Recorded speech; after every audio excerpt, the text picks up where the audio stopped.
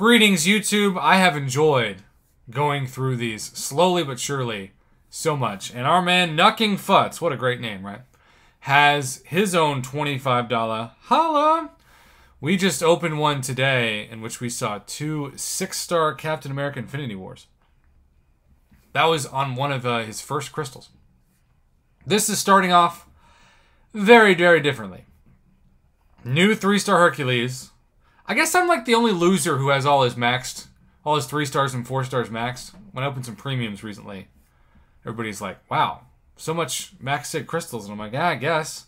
You mean not everybody's addicted to max sigging every champion? And then I, it doesn't feel like a flex. In fact, it feels kind of like a cry for help. Hey, there is my prom date. This takes me back to prom. So far, that is a nomination for the title of this video. It's the invisible woman, the woman I danced with all night. She was invisible. Hey, you could have somebody being like, when I was your age, I was Mr. Handsome. Nope. I was Mr. Invisible Man. But hey, don't worry. It gets better in life. You get to be a YouTuber. Woo! Hey, six star Invisible Woman. And then a five star rocket of mediocrity in terms of a glass cannon champion that can't take a punch. I do like Rocket Raccoon. I love his special too. Not suicide friendly. But can we agree?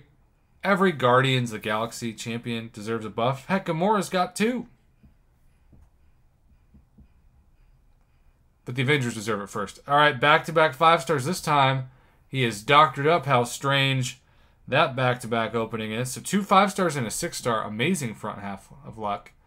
Finishing off with, okay, that this should happen a minimum of twice on average. You should get all three stars, at least two out of ten crystals. So this is fitting uh, because I think he's done that twice, right? The first two, or the first and the last. So it's all three stars, six star, five star, five star, all three stars.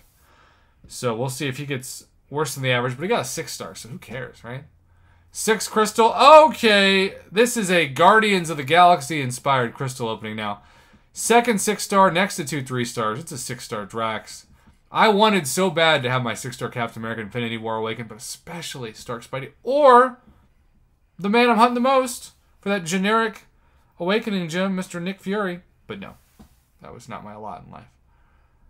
And oh, you've uh, what? Forget the prom date. We have a new title.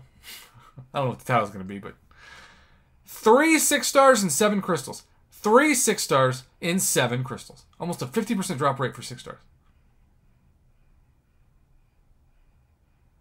I am so jealous right now. Ugh. But happy for you, Nuckin. Happy Mr. Futz.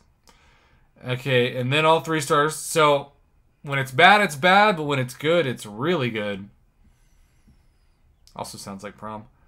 Back to back, all three stars. The game's like, look, we gave you way more than you deserve, so we got to take some of it back with all these three stars. But we're ending with a five star Drax after you got a six star Drax the first time.